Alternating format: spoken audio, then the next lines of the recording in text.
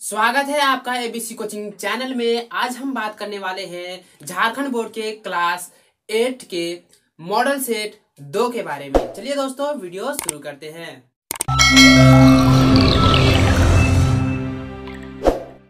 हम आज बात कर रहे हैं सेट नंबर दो झारखंड बोर्ड के आठवां क्लास का। चलिए दोस्तों क्वेश्चन की ओर ध्यान देते हैं कि यहाँ पे देखे क्वेश्चन कि माइनस आठ बटा सात गुना इक्कीस बट्टा बारह बराबर इक्कीस बट्टा बारह गुना यहाँ पे खाली स्थान है में रिक्त स्थान में होगा। अब ये रिक्त स्थान यानी खाली जगह पे क्या होगा? आप ये बताइए, ये कर्मबद्ध तरीके से आपको ये वाला हम चैप्टर में भी पढ़े होंगे। चैप्टर में पढ़े थे, कर्मबद्ध तरीके से है। तो यहाँ पे देखिए इक्कीस और बारह, यहाँ पे इक्कीस बटा बारह यहाँ पे दिया है। तो आपको क्या करना है? ये वाला यहाँ पे आ जाएगा। तो ये वाला देखिए कहाँ पे है? तो ये एक नंबर में है। तो ये मेरा ए नंबर का आंसर हो जाएगा। चलिए दोस्तों, यहाँ पे है दो नंबर की ग्यारह का वर्ग होगा। अब यहाँ पे कहते हैं ग्यारह का वर्ग होगा तो यानी कि इसका वर्ग निकालना है। आपको नहीं पता है तो हम वर्ग निकालते हैं तो क्या हो जाता है? ग्यारह ग्यारह कितना होता है? दो सौ, एक सौ इक्कीस आता है। देखिए तो क्या करते हैं? एक सौ इक्कीस, ये वाला हो जाएगा, ठीक है? तीसरा नंबर क्वेश्चन है, आठ बट्टा सत्ताईस का घनमूल होगा। अब यहाँ पे देखिए, आठ बट्टा सत्ताईस का घनमूल। घनमूल ये कि घन नहीं निकालने के घनमूल निकालने के लिए तो आठ बट्टा सत्ताईस का, आठ बट्टा सत्ताईस का क्या करना है? घनमूल निकालना है ना? तो यानी कि इसका क्यूब निकालना है तो क्यूब हम आठ बटा सत्ताईस कर सकते हैं। देखिए, हम यहाँ पे दिखा रहे हैं, आठ बटा सत्ताईस कर सकते हैं तो इसका आठ किसमें आता है? दो में आता है, इसमें कितना आता है? तीन में। तो आपको कौन सा आंसर हो जाएगा? A number. चलिए दोस्तों, ये तीन नंबर का भी हो गया, और चौथा नंबर पढ़ते हैं कि एक्स पर पावर ज़ीरो का संख्यात्मक मान होगा। अब यहाँ पे है तो आप ये पढ़े होंगे सूत्र में कि एक्स पर पावर ज़ीरो बराबर वन होता है तो आपका यहाँ पे क्या होगा कि एक्स पर पावर ज़ीरो यानी कि ये मान के चलिए एक्स है, ये सौ जो है, ये एक्स है तो एक्स पर पावर ज़ीरो बराबर क्या होता है तो यहाँ पे क्या हो जाएगा, किसी भी संख्या पर पावर ज़ीरो रहे तो हम क्या जानते हैं, वहाँ पे एक होगा तो ये मेरा आंसर हो जाएगा डी यानी कि फोर का हो जाएगा डी चलिए अगला पांचवा क्वेश्चन है कि एक्स और एक्स और वाई देखिए यहाँ पे। एक्स वाई एक संख्या है, इसके लिए कौन सा कथन सही है? यहाँ पे देखिए एक्स वाई मेरा एक संख्या यहाँ पे ध्यान दिखिएगा ठीक है? एक्स वाई संख्या है तो कौन सा कथन इसका सही होगा? तो यहाँ देखिए एक्स प्लस वन क्योंकि योग में है, नहीं है तो एन टेन एक्स प्लस वाई ये अंक में है, नहीं है। अब देखिए ten x x plus ten y तो ये भी है, नहीं है। तो यहाँ पे देखना है एक्स इंटू वाई यानी एक्स गुना वाई देखिए ये गुणन में है, यानी कि इसको हम गुना करेंगे, ये वाले को। जिस तरह हम एक्स गुना देखिए एक्स गुना वाई करेंगे तो मेरा होता है एक्स और वाई यानी कि ये मेरा संख्या इसके रूप में है। चलिए दोस्तों, ये हो गया आपका आंसर। चलिए आप चलते हैं अगले क्वेश्चन की ओर। देखिए, यहाँ पे छह नंबर में कहता है, थ्री एक्स तथा सिक्स एक्स स्क्वायर के सही विकल्प चुने। आपको यहाँ पे विकल्प चुनना है कि थ्री एक्स तथा सिक्स एक्स स्क्वायर के सही विकल्प चुने। तो यहाँ पे दिया है पहला नंबर की दो समान पद है। यहाँ पे देखना है कि ये दो समान पद है और दूसरा नंबर में कहता है बी में कहता दो, दोनों असमान पद है। तो सी में कहता दोनों बहुपद है। डी में कहता दो चर है, यानी कि दो चर है। तो आपको यहाँ पे ये देखना है कि ये वाला, पहला वाला देखना है कि थ्री एक्स और सिक्स एक्स स्क्वायर, ये दोनों अलग अलग पद है। तो यानी कि ये दोनों क्या हो जाएगा? दोनों और समान पद है। इसका आंसर हो गया। चलिए नेक्स्ट क्वेश्चन और बढ़ते हैं। कहता है X four X four minus सोलह का गुणनखंड होगा।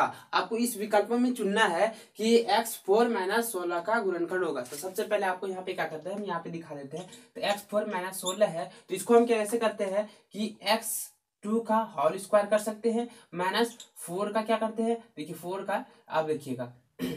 फोर का स्क्वायर करते हैं। फोर का स्क्वायर हम कर सकते हैं। देखिए, अब इसको हम लिख सकते हैं ना X square plus four into X square minus four चलिए, अब देखिए, इसको तो हम तोड़ नहीं सकते।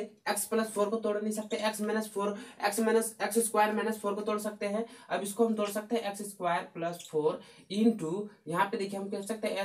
एक्स यहाँ पे देखिएगा। एक्स है ना? ये वाला एक्स दिखेगा। इसको हम एक्स स्क्वायर माइनस टू का होल स्क्वायर कर सकते हैं। अब देखिए ए माइनस बी का होल स्क्वायर में आ जाएगा तो X square plus four into हो जाएगा यहाँ पे। देखिए इंटू हो जाएगा, यानी कि X plus two into X minus two देखिए, ये हो गया आपका आंसर देखिए किसमें आता है? देखिए, आपका ये आ रहा है सी नंबर में ये हो जाए आपका सातवां का सी चलिए, अब आठवां आठवां नंबर देखते हैं. कहता है टू एक्स प्लस थ्री बराबर पाँच का हल होगा. आपको टू एक्स प्लस थ्री बराबर कितना निकालना है? पाँच निकालना ठीक है? यहाँ पे टू एक्स प्लस थ्री बराबर कितना है पाँच। तो टू एक्स बराबर कितना हो जाएगा? पाँच माइनस तीन, यानी टू एक्स बराबर दो। तो एक्स बराबर कितना हो जाएगा? दो बट्टा दो, यानी कि एक आंसर निकल जाएगा, जो आठवां का मेरा ए नंबर आंसर हो जाएगा। चलिए अब निकलते हैं नौ नंबर की ओर। अब देखिए यहाँ X minus five into X minus five के लिए कौन सा विकल्प सही नहीं है? आपको कौन सा विकल्प सही नहीं है? तो सबसे पहले आप क्वेश्चन की ओर देखिएगा। तो X minus five into X minus five यहाँ पे देखिए, इसको हम तो इस तरह लिख सकते हैं ना तो एक्स माइनस फाइव पर स्क्वायर क्योंकि दोनों इंटू में है, दोनों इंटू में है तो यहाँ पे क्या करते हैं? दोनों इंटू में है। देखिए, ध्यान से क्वेश्चन पे ध्यान दीजिएगा कि X minus five into X minus five है, यानी कि दोनों क्या है? गुणन में है तो यानी कि A into A minus B into A minus B यानी कि A minus A minus B का होल स्क्वायर हम कर सकते हैं, कर सकते हैं, चलिए। अब इसके बाद यहाँ पे देखते हैं एक्स प्लस फाइव स्क्वायर देखिए एक्स प्लस फाइव यानी कि माइनस माइनस प्लस तो ये तो नहीं होगा, इसको हम ये तो बना नहीं सकते हैं। चलिए, अब इसके बाद आगे लेते हैं सी नंबर कि यहाँ पे देखिएगा एक्स स्क्वायर प्लस यहाँ पे देखिएगा टेन एक्स प्लस पच्चीस, ये है ना? तो ये वाला हम जानते हैं कि A square plus two A B plus B के स्क्वायर में आ रहा है। तो इनमें से कोई नहीं। तो आपको यहाँ पे देखना है, इसमें चुनना है कि X minus five into X minus five किसके रूप में नहीं होगा? ये एक्स प्लस फाइव के रूप में नहीं होगा। चलिए, अब आगे लेते हैं। कहता है दसवां नंबर क्वेश्चन है कि अट्ठाईस एक्स स्क्वायर वाई देखिएगा, अट्ठाईस X square Y plus seven X Y का मान होगा तो आपको यहाँ पे निकालना है कि अट्ठाईस X Y plus seven X Y का मान होगा तो आपको यहाँ पे निकाल देते हैं, इधर देखिएगा, यहाँ पे देखिएगा ध्यान से कि अट्ठाईस एक्स स्क्वायर वाई है प्लस है सेवन एक्स वाई तो आपको देखिए इस दोनों में कॉमन क्या लेते हैं, देखिए इस दोनों में क्या कॉमन आ रहा है, यानी कि यहाँ पे निकल रहा है फोर है ना, अब इसको बढ़िया से करके दिखाते हैं, यानी कि देखिए चार गुना सात गुना एक्स गुना एक्स गुना वाई देखिए, इसके बाद प्लस है, इसके बाद सेवन गुना एक्स गुना वाई अब देखिए, किस किस कौन कौन सा संख्या मिल रहा है? मेरा देखिएगा, ये सात मिल रहा है एक्स मिल रहा है और वाई मिल रहा है। हमको क्या नहीं मिला? फोर एक्स तो इसका आंसर हो जाएगा फोर एक्स जो इसका ए नंबर हो जाएगा। अब बढ़ते हैं अगले क्वेश्चन की ओर। क्वेश्चन नंबर ग्यारह। कहता संख्या चालीस को दो भागों में इस प्रकार बांटा गया कि पहली संख्या का वन बटा पाँच, वन बटा पाँच यानी कि एक बटा पाँच, दूसरी संख्या के एक बटा तीन भाग के बराबर है। अगर पहली संख्या x है तो दूसरी निम्न में से कौन समीकरण सही होगा? आपको यहाँ पे क्वेश्चन दे दिया है, यहाँ पे कहता है चुनने के लिए, यानी कि विकल्प को चुनना है कि कौन सा इसका समीकरण सही होगा और कौन सा गलत होगा। तो आपको इसमें से ढूंढना है कि कौन सा सही है। तो क्वेश्चन एक बार फिर से पढ़ लेते हैं। कहता है संख्या चालीस को। है ना? यहाँ पे ध्यान से देखिएगा संख्या क्या कहता है? संख्या चालीस को दो भागों में इस प्रकार बांटा कि पहली संख्या का एक बट्टा पाँच, दूसरी संख्या के एक बट्टा तीन भाग के बराबर है। अगर पहली संख्या x हो तो निम्न में कौन सी संख्या समीकरण सही होगा? तो सबसे पहले ये देखिएगा, जब x गुना मान के चलिए, कोई भी समीकरण है, माना कि वह जो है ना, वह समीकरण, देखिए वह समीकरण x ले लेते ठीक? वह समीकरण x है तो वो क्या होता है? इसकी संख्या के बराबर भाग है, यानी इसके गुना यानी एक बटा पाँच के गुना बराबर कितनी है? टोटल कितनी है? चालीस को भागा ना तो चालीस में चालीस में मेरा क्या कहता है, वह भाग के बराबर। यानी कि जब इतना ये घट गया तो टोटल चालीस में कितना घट जाएगा? एक्स बट्टा कितना हो जाएगा? तीन हो जाएगा। जो आपका आ जाएगा एक्स बट्टा पाँच बराबर चालीस माइनस एक्स बट्टा तीन। जो ग्यारह नंबर का आंसर हो जाएगा, एक, ए नंबर ठीक है?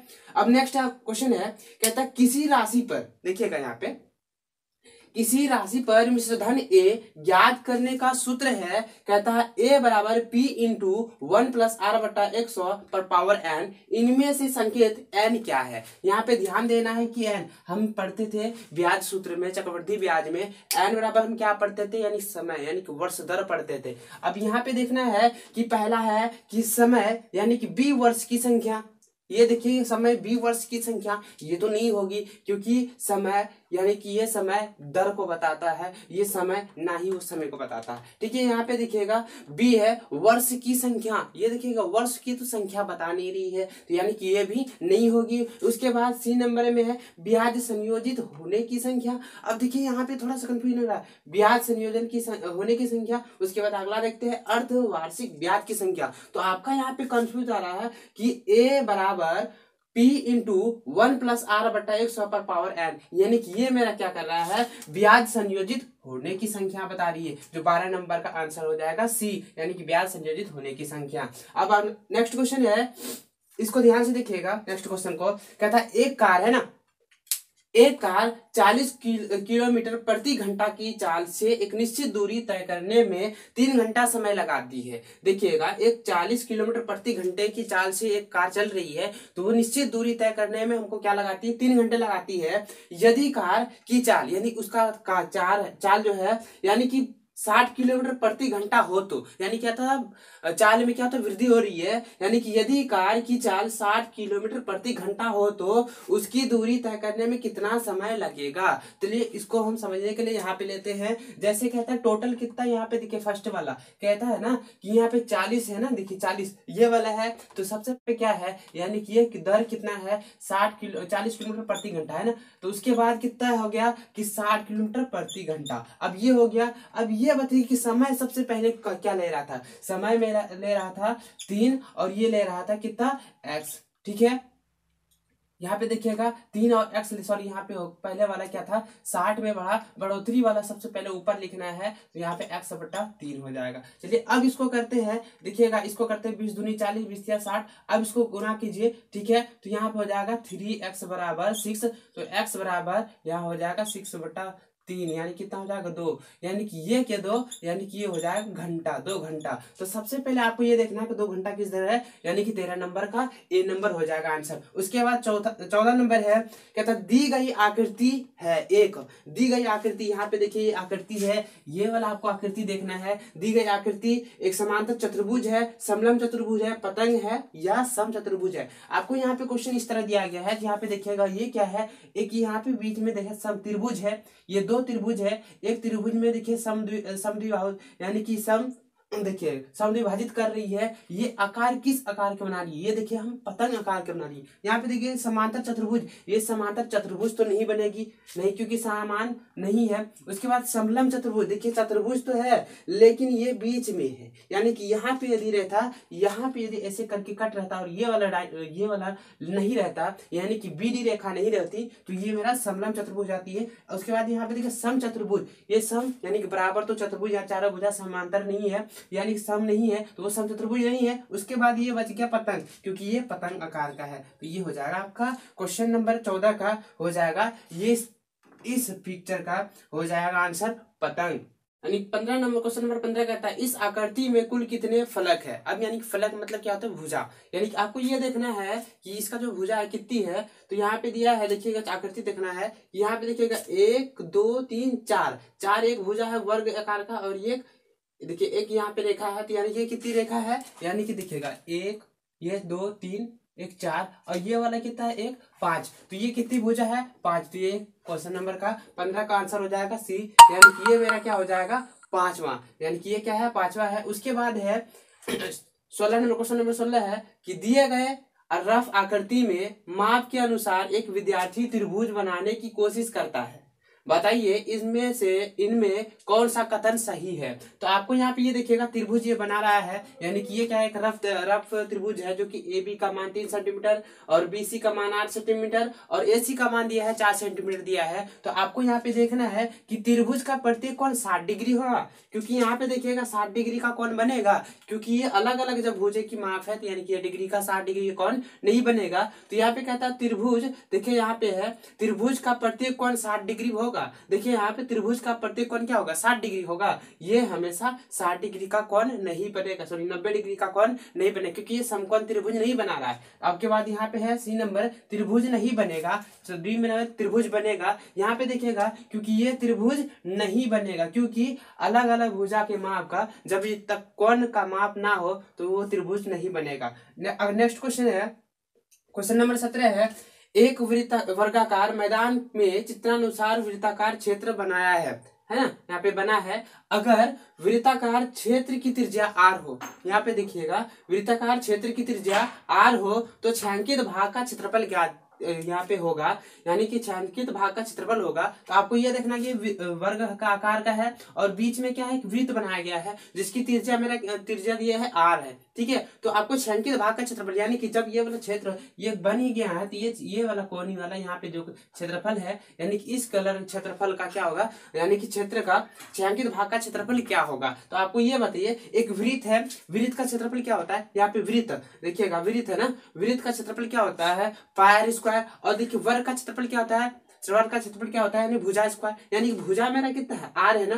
तो ये मेरा आर है तो फोर गुना देखिएगा फोर गुना आर स्क्वायर फोर गुना आर स्क्वायर माइनस इसको घटाएँगे वृत्त में, तब घट जाएगा। यानी कि वर्ग के क्षेत्रफल में, वृत्त के क्षेत्रफल को घटाएँगे तो क्या हो जाएगा? ये छायांकित भाग का क्षेत्रफल निकल जाएगा। तो यहाँ पे हो जाएगा four R four R square देखिएगा, चार चार वर्ग है यहाँ पे, देखिएगा। एक ये वर्ग हुआ, फिर इसके बाद ये एक वर्ग हुआ, और एक ये वर्ग हुआ, और ये एक वर्ग। यानी कि चार वर्ग बन रहा है, यानी कि फोर फोर आर स्क्वायर यानी कि क्या हो गया? फोर भुजा, यानी कि क्या हो जाएगा? भुजा यहाँ पे दिया है आर और क्षेत्रफल भी क्या दिया है? त्रिज्या भी क्या दिया है? आर दिया है।